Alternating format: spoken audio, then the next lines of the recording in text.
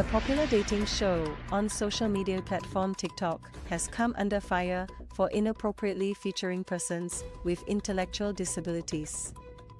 Produced by local internet personality Uncle Raymond. The show is named Fei Cheng Wu Rao, or If You Are the One in English, and is inspired by a famous Chinese dating show of the same name. It has 37 episodes so far. Started in May. Each episode is only a few minutes long and typically draws about 30,000 to 114,000 views. Uncle Raymond, known for his viral TikTok dancing videos, provides a disclaimer that the show is purely for fun. On each episode, a panel of women men contestants and a solo contestant of the opposite gender to the panel introduce themselves, sharing information such as their names and where they live. Uncle Raymond then asks each contestant to share what they are looking for in a romantic partner, and based on the information, the solo contestant picks a contestant from the panel to be matched with by the end of the episode. Multiple contestants on the show have been persons with intellectual disabilities who appear to be unaccompanied. While there are TikTok users who are amused by Uncle Raymond's show, others have called him out, saying it is exploitative as they feel he is putting these disabled individuals in vulnerable positions to bolster his online popularity. An early interventionist who wanted to be known only as Miss Lee. And a social worker, who wanted to be known only as Miss Lim, expressed concerns to the Straits Times that the show exposes these individuals' vulnerabilities without ensuring their safety, thus potentially subjecting them to cyberbullying. A check by ST shows some netizens making fun of and insulting the disabled participants in the comment sections of these videos. One user asked, why is the last guy permanently winking at me, referring to a participant's physical appearance? In a joint statement, Miss Lee and Miss Lim said, Uncle Raymond's matchmaking series reinforces the stigma of this marginalized group by taking advantage of their desire to be accepted as a person with special needs. The portrayal of the persons with special needs is skewed and further associated with negative qualities like stupid, crazy, unwanted, outcast. Dot. They also raised concerns about how the disabled participants seemed confused at times and questioned if they understood the show's intent, potential ramifications, and responses from the public. If the participants do not have mental capacity and are unable to give consent, then were the Guardians informed of their involvement in this project, they said. Uncle Raymond, a businessman whose real name is Mr. Raymond Lin, said he had met most of these disabled participants through an event at a special needs school where he was an invited guest.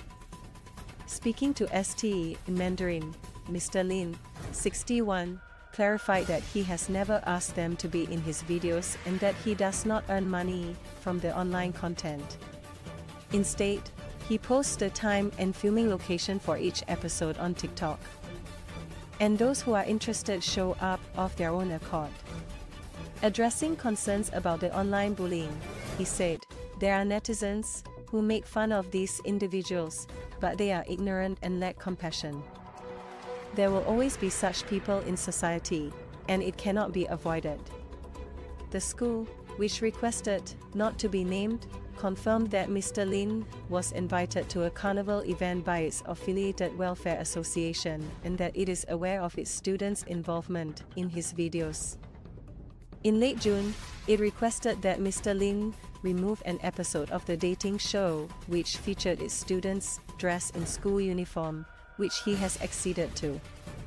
The school has advised its students not to continue participating in the show as it felt the content was not age appropriate. And is making continued efforts to educate them on using social media responsibly. On whether the show counts as exploitation, social worker Florence Lim said the situation is a tricky one since participants joined the show voluntarily. But as the parent of a child with Down syndrome, The 65 year old said she would not be comfortable if her daughter was featured on the show. She said the content of the show and its production process need to be thoroughly evaluated and that safety measures must be taken in order for the show to be produced in an ethical manner. We really don't know their level of intellectual disability. We don't know whether their emotional and mental health needs are taken into consideration when being selected for the show. She said. Dr. Carol Balhetchet, a clinical psychologist and psychotherapist who works with people with cognitive disabilities, agreed, saying the show requires proper scripting and production arrangements with greater sensitivity towards understanding those with disabilities. She also expressed concern about the negative effects of being rejected on the show, in front of thousands of netizens, would have on the participants, such as lowered self esteem. Dr. Balhetchet added that the show should remind audience members not to discriminate against the disabled participants. Ms. Florence Lim, meanwhile, suggested that Mr. Lin partner with a social service organization experienced in working with people with intellectual disabilities. Defending himself, Mr. Lin said the show helps to improve the confidence, language and communication skills of the very kind and passionate disabled participants. I always take extra care and patience to teach and guide them through the activities of the show. He said. They gain a lot of joy from these activities, and it makes me happy to see them enjoying themselves. However, professionals ST spoke to say the episodes are too short to effectively help participants hone such skills. Dr. Balhetchet said, spreading awareness about people with special needs is a good initiative, but spreading awareness means education. What form of education has he given to the viewers? Nothing. There's no educational component. ST has contacted the Movement for the Intellectually Disabled of Singapore MINDS for comment.